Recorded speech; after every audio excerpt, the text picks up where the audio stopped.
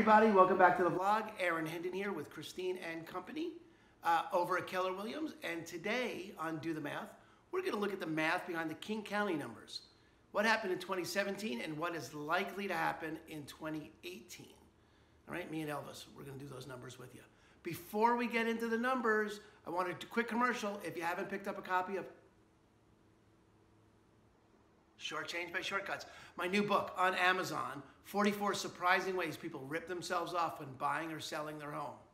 Really, the 10, 20, $30,000 that's at stake in this transaction, you know, for you, is either going in your pocket, it's going to go in the pocket of the person on the other side of the transaction. It's up to you. Pick up a copy of the book today. Let me know what you think. Uh, next up, King County numbers in 2017 and what might be happening in 2018. See you soon. Hey, everybody. Welcome back to Do the Math, the King County 2017 version. All right, here's what we've got. These are the numbers for King County in 2017. Light green represents for sale, that's inventory. Dark green represents sold, that's demand, supply and demand. Let's look. If you follow the vlog, you know that last September and October we said it was a great time to be a buyer because supply outstripped demand.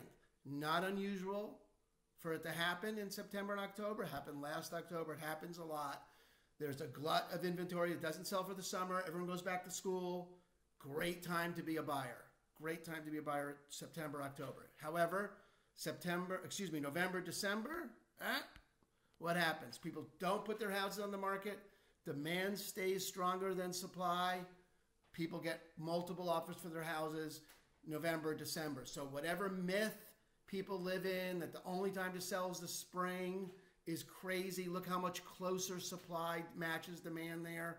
It's not close, okay? Now, you do get you do get bump ups, right? But it's not as consistent. The end of the year is consistently like this. This is a great great graphic for what traditionally happens at the end of the year.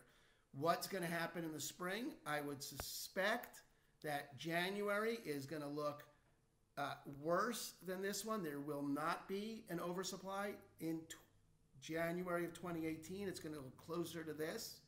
And uh, when you get to February, I think you're going to find it's going to not look like that. It's also going to look like this. I think you're going to be in a high demand, low supply moving into the spring. Okay. So if you have, if you're thinking about selling and it's you have any option about it, I would get to the market before the supply moved up. There's just no counting for, right? That slow that supply has got to bounce up. And here's why I mean I think that supply is going to bounce up. If you look at the 15-year trend, obviously you're looking at a all-time low, like a you know steady drop in inventory. While it was steadying off here, right? Watch what happened last winter. Look at this. This is this is an all-time low last winter. The chances of it staying down that low are so small. It's very, very unusual. It's an all-time low. You would have to hit a bottom at some point. Some people are going to have to move. Even if it just bounced up to here, you would be better off selling now in the lowest possible inventory situation. If you notice, demand doesn't bounce much higher than this. It's not like demand is ever increasing. Okay, demand is pretty steady. That was a lousy line, but if you just look, that's even a lousier line. However, you can see it. The demand is pretty steady. Supply is what just fell off the table here. Okay, at the end of last year. If that bounces back to even here, you will have been better off selling sooner than later. Okay, so that's just a couple minutes on doing the math. It's really important that you're always looking for what's happening in the market now, what's happening in the market now, and don't go by whatever uh, superstition or common knowledge you think you already know about the market. Look at what's really happening, okay? Lowest possible inventory level in 15 years, okay? Is that going to bounce up? You think at some point, right? That's ridiculously low, okay, in King County.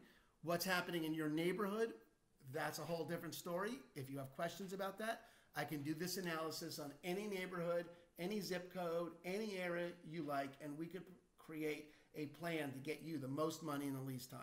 All right, thanks for coming by the blog, and uh, we'll see you next time on Do the Math.